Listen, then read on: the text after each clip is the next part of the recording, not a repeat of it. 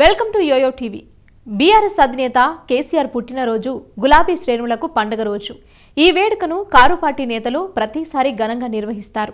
ఈసారి మాత్రం అంగరంగ వైభవంగా నిర్వహించేందుకు ఏర్పాట్లు చేశారు. హోర్డింగ్లు సేవా కార్యక్రమాలు ప్రత్యేక కేకులు కట్ చేసేందుకు ఏర్పాట్లు చేస్తున్నారు.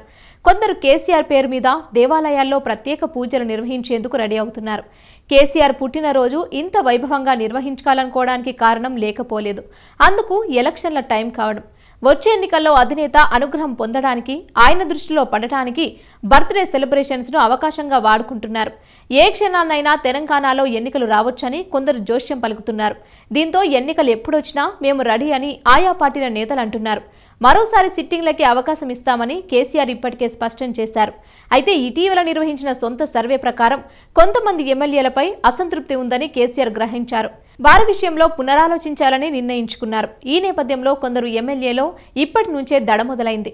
అయితే తమకు టికెట్ రావడానికి కేసీఆర్ అనుగ్రహం పొందాలని రకరకాలుగా ప్రయత్నిస్తున్నారు.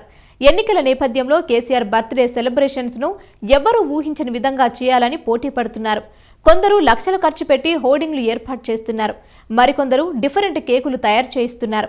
ఇంకా కొందరు కేసీఆర్ పేరిట రక్తదాన శిబిరాలు నిర్వహిస్తున్నారు. మరికొందరు ఆయన పేరిట ప్రత్యేక పూజలు నిర్వహించేందుకు రెడీ అవుతున్నారు.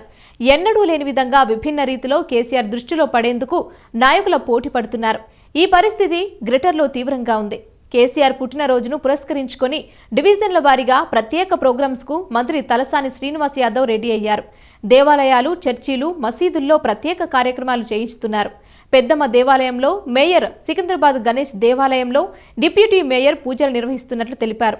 ప్రత్యేక పూజలతో పాటు చండీ యాగం ఆయుష్ హోమం బల్కంపేట ఆలయంలో ప్రత్యేక పూజలు చేయిస్తున్నారు. మరి కేసీఆర్ ఎవరి ప్రేమకు ఫిదాయి? అభయమిస్తారో చూడాలి.